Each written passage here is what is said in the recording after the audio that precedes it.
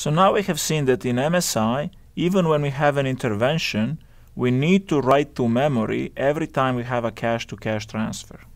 So for example, C1 has the block in the M state because it just wrote it. C2 wants to read the data, so it puts a read request on the bus. C1 responds with the data. So now C2 has the data, but C1 can no longer just write to this block.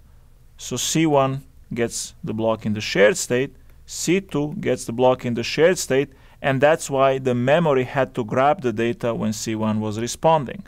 Now what can happen is C2 writes, so it sends an invalidation because it already has the data.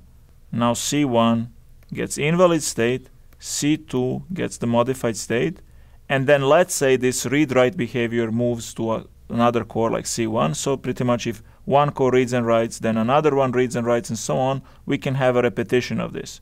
So pretty much the data is kind of moving around the caches, but the problem is every time it moves between caches, the memory also gets written, and the memory doesn't have as much bandwidth as the caches do. So the problem really is that here we needed to do a memory write. Another problem occurs because when C2 has written, for example, and has the data in the modified state, and then C2 responds with data, and that causes a memory write, we again get C1 has the block in shared state, C2 has the block in shared state. Now if C3 reads, because both of these have the block in the shared state, the memory provides the data.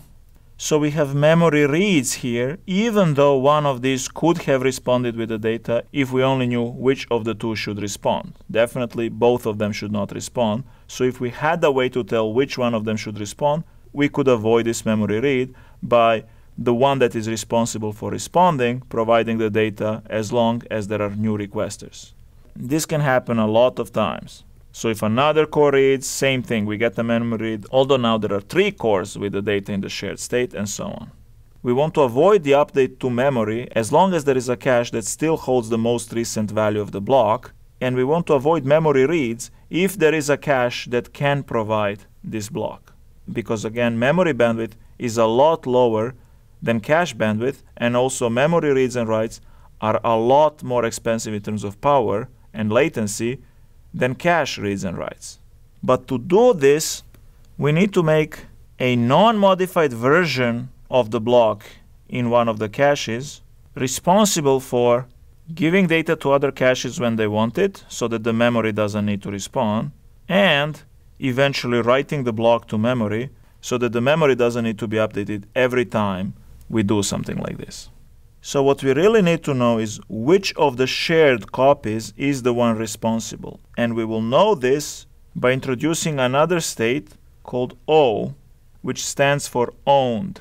So there will be one owner of the block if others are sharing it.